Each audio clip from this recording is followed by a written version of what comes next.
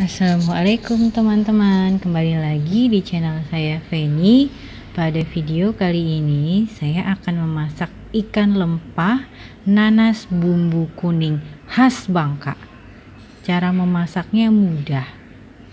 Yuk kita tonton videonya. Ditonton sampai habis ya. Jangan lupa ditekan tombol subscribe-nya. Selamat menyaksikan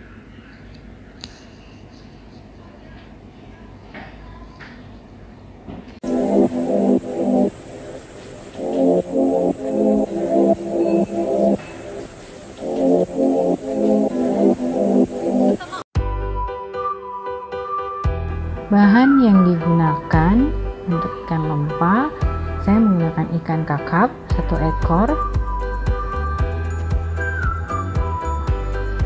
Untuk bumbu-bumbunya ada cabai merah keriting, cabai rawit, lalu bawang merah, bawang putih, kemiri,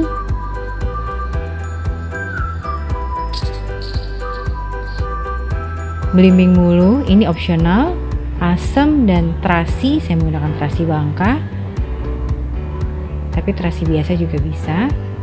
Lalu ada gula dan garam serta penyedap rasa.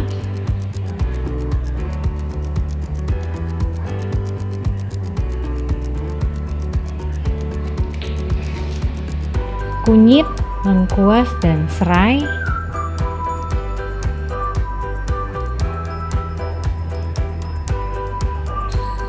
dan yang terakhir nanas. Satu buah nanas. Kalau ingin lebih banyak nanasnya juga bisa bisa satu setengah. Tapi jangan khawatir untuk detailnya ada dalam description box.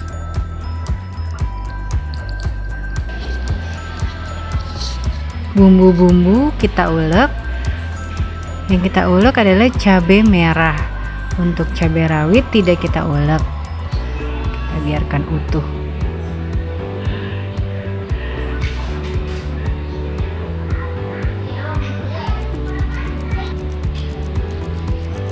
Selanjutnya kita masukkan kemiri dan bawang putih.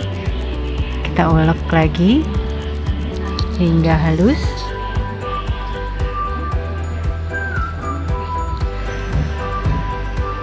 bawang merah.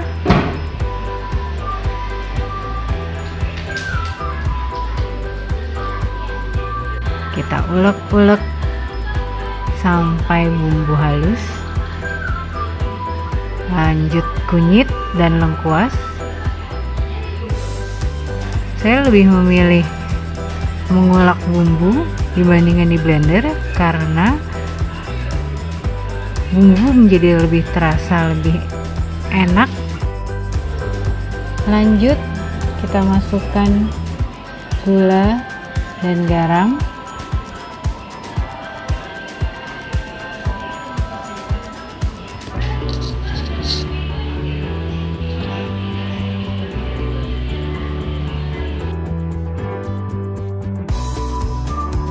Lalu terasi kita ulek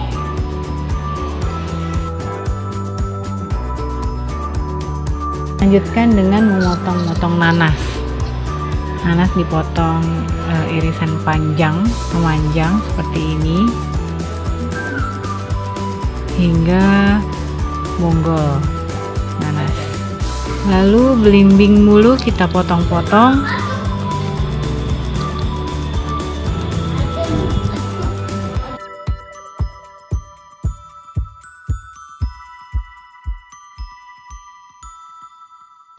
asam.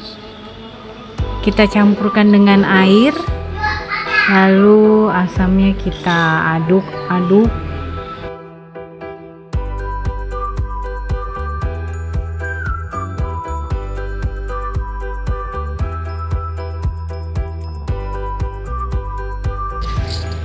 Sekarang kita mulai masak bahan-bahannya. Pertama kita masukkan nanas dan cabai rawit serai yang sudah digeprek?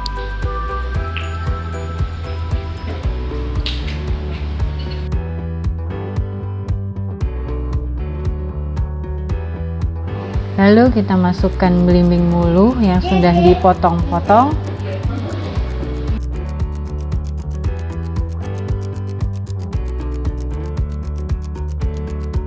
Lalu bumbu yang sudah diulek kita masukkan.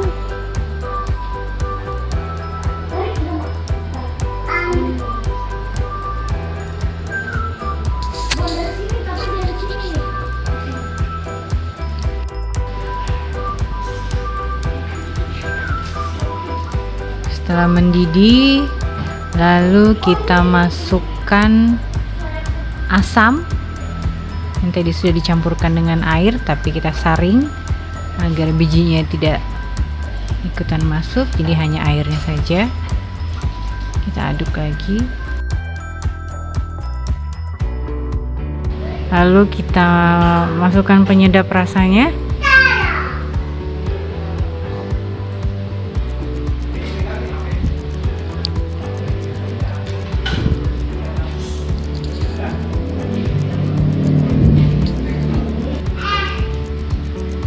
kita tunggu hingga mendidih. Lalu kita masukkan ikan kakap yang tadi sudah dipotong-potong. Kita rebus tidak usah terlalu lama agar ikan tidak menjadi hancur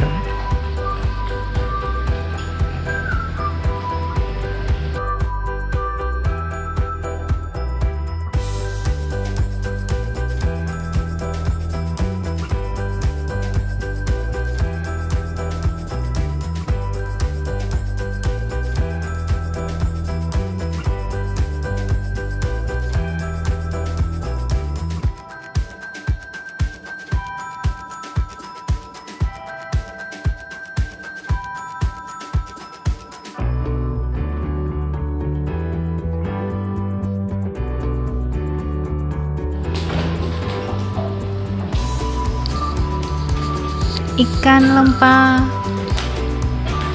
nanas bumbu kuning sudah jadi dan siap untuk disajikan. Silahkan mencoba teman-teman sekalian. Dijamin rasanya enak.